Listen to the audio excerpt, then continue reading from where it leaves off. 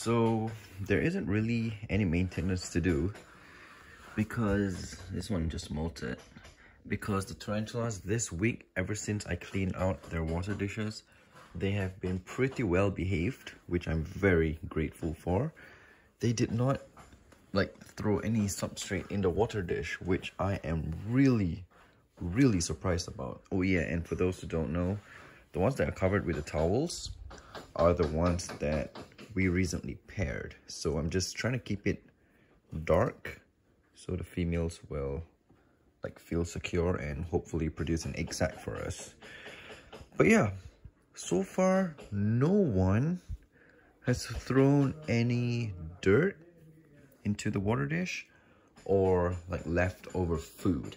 So there's really no maintenance. I know you guys are like, where are the videos on this channel? Well, it's because ever since I changed the water dish, I mean the clean the water dish for everyone, they have not done any ungrateful things, right?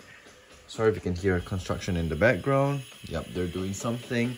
But yeah, since there's nothing for me to maintain, let me just show you something. So my friend came over yesterday and he forgot to bring home his he brought this over to show to me to show me this tarantula and he forgot to bring it back. So yeah this is his let me try to open it wait uh, there we go. All right so this right here this is female Kochiana brunnipes also known as the dwarf pink leg. It's super tiny. Let me show you mine. Mine is, is big. Oh yeah, and I just got this new tarantula. I collected uh, on Saturday. Yeah. I will be transferring her over to one of the custom enclosures, but that'll be in another video. But, okay, let me show you my Kochiana Brunnipes. Scorpion, scorpion, and everywhere. Okay, so this right here is my adult female, Kochiana Brunnipes. Right there.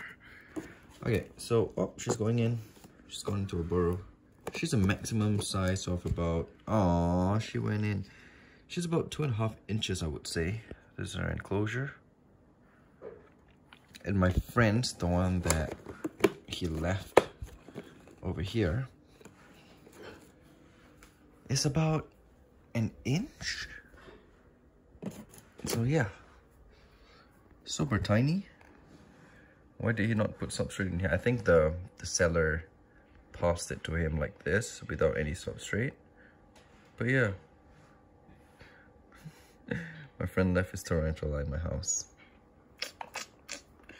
All right, that's cool, that's cool. He'll come and grab it later today. So, I don't know if I should put substrate for him. Nah, maybe not. Because what if I put substrate and then it dies? Then it'll be like my fault, right? So, I'll just leave it as it is, as how he brought it here. Because, yeah, that's just the way it is. Got some GBBs here. So guys, that'll be I don't know when I'm going to be uploading another video on this channel because so far the tarantulas, they're being very, very well behaved and I don't have any maintenance to do. So yeah, I'll see you in the next video.